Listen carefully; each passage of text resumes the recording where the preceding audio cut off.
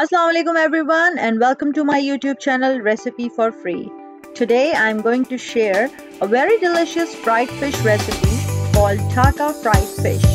It's very simple and easy to make. If you like my video, do subscribe my channel.